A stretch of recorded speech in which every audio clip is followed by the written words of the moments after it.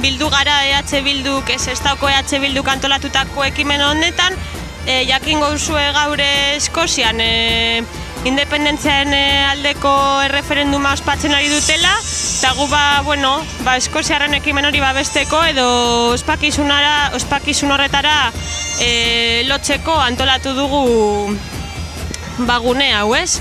Uste dugu e, bueno, ma, e, Eskozianen emaitzaren zai gaude, baina bueno, argi daukagu bai ala ez e, atera, azkenan Eskoziarrek irabazi dutela ja, ez? Osa, azken finean beraiek daukaten e, bere, etorkizun, bere etorkizuna erabakitzeko duten eskubidea, ba, nola ja e, Britaniar gobernuak aitortu die, eta orduan uste dugu hori ja garaipen bat dela, ez?